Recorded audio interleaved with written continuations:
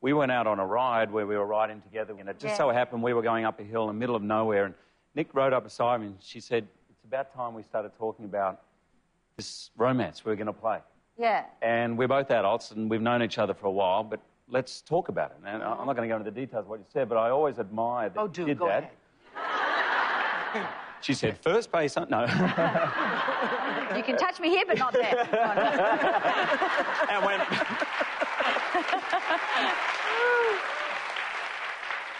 I didn't listen to that bit. No, no. is, is it harder? Is it harder to, to kiss or have a romantic scene with somebody you know, a friend, associate, than say walking in and you'd never met? Um, I think that there's an enormous amount of trust, and also I think you just say, you say to each other, "You're safe. I'm never going to. You, you, this is it. It exists in this little capsule of time, and we trust Baz, and we say we. That's what I was saying. You commit to the the love of the moment in the scene, and then you walk away from it and you go back to your life.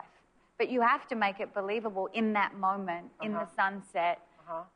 I mean, that's how I act. It has to be real. It has to reverberate. It has to sort of vibrate through me. Yeah. And then you you shed it and you go back to your life. But I think any artist would say that. Mm-hmm. And there is this, there's a boundary. There's a strict sort of boundary, right, that exists, and that's There it. is. I, I, the way I see it, I suppose, hard to- you are the kissing or that kind of thing, and this is the same for real life, is not necessarily the most intimate you can be. It doesn't really matter.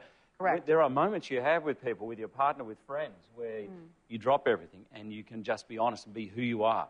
And luckily, I think it does make it a little easier to have that intimacy with someone because Mm. Nic is someone who I trust Mm-hmm. uh, as a friend. I could, I feel like I could tell her anything. So even if it is awkward, I can say this feels really awkward. Not that we, not that I did, but that that could Yes, be you did.